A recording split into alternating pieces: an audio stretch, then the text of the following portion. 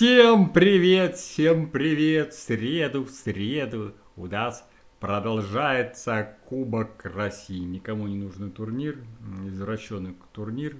А, вот, но, но продолжается групповой этап. И под наблюдением у нас матч между Факелом и Зенитом.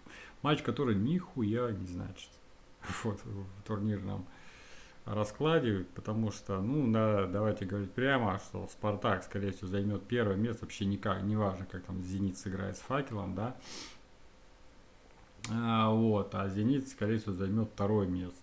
Вот. Почему так? Ну, я немного расклады вам а, расскажу.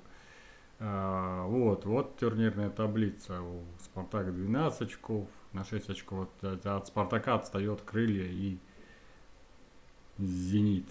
В общем-то, если факел, если Зенит выиграет у факела, у Зенита становится 9 очков. А если в Самаре крылья проигрывают Спартаку, то у Спартака становится 15 очков, а у крылья остается 6. Вот, в общем-то, скорее всего, при таком раскладе э, у Зенита будет больше очков, чем у Крыльев, и Зенит останется на втором месте. А последний матч между Спартаком и э, Зенитом уже працует никакой турнирной, э, турнир, турнирной цели не будет иметь. А, вот, поэтому, в принципе, в принципе, даже если крылья играют ничью со Спартаком, не то, что проигрывают, не то, что не проигрывают, да, то это все равно не имеет никакого значения. Вот. Потому что даже ничья оставляет крылья на третьем месте. Другое дело, что, допустим, если, если Зенит проигрывает дома Спартаку в последнем матче, да, а крылья выиграют у Факела, возможно, это крылья там становятся на втором месте. Ну, вероятность это нулевая, то есть вероятность 90% будет такая, такой расклад, что на первом месте будет Спартак, на втором месте Зенит, на третьем месте Крылья, на четвертом месте Факел. Вот. И все это все понимают, в принципе, расклад в таблице очень-очень понятен. Вот, но матч проводить надо, и сейчас в Воронеже будет матч между Факелом и Зенитом. А, повторяю, никому не нужный матч. Я думаю, бразильцы уже все на пляжах. Думают о пляже, по крайней мере. Вот, и как это сейчас будет, какая погода будет в Воронеже, я не знаю, потому что в Питере сегодня выпал снег, такой охуенный снег. А, вот, и как там они будут играть, если в, если в Воронеже тоже снег будет, я не знаю. Я думаю, что в этом совершенно не значащем матче, то Зенит выставит второй состав. Мне кажется, бразильцы нахуй нужны будут играть.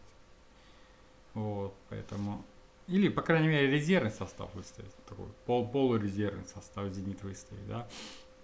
Поэтому какое-либо рвения у Зенита, я думаю, не будет большого рвения. Чистякова, наверное, скорее всего, выступит за, выпустят поиграть, да. Вот, поэтому, поэтому не надо надеяться, что там Зенит будет рвать и метать. И бразильцы, скорее всего, играть не будут. Потому что, ну зачем им травму получать сейчас? Ну, вот, Бариус на чемпионат мира, по-моему, едет, да, или не едет, я уже не помню. Ладно. Вот такие расклады. В общем-то, матч никому не, не нужный. И, скорее всего, там будет отбывать номер. И та, и другая команда. Ну, факел будет пытаться там доказать, что они охуенная команда. А вот э, Зениту, в принципе, этот матч проходной.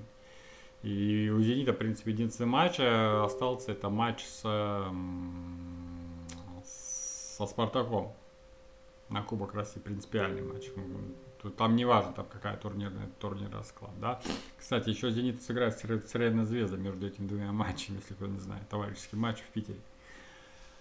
А, вот, э, так что вот такие расклады, что, что, какую ставку, какой прогноз сделать. У меня на этот матч очень простой прогноз, обе забьют за коэффициент 1,9. Вот. А, почему такой прогноз? Ну, гол Зенита, я думаю, не надо никому объяснять, все равно они как-нибудь запуляют его, да, занесут даже там вторым составом. А вот гол Факела, будет ли он? Ну, я думаю, будет. Я думаю, будет там, Зенита будет не основной состав, Факел всегда забивает у себя дома, всем командам забивает. Я думаю, Зениту они тоже забьют. Матч РПЛ, э, который проходил в Воронеже, они сыграли 1-1.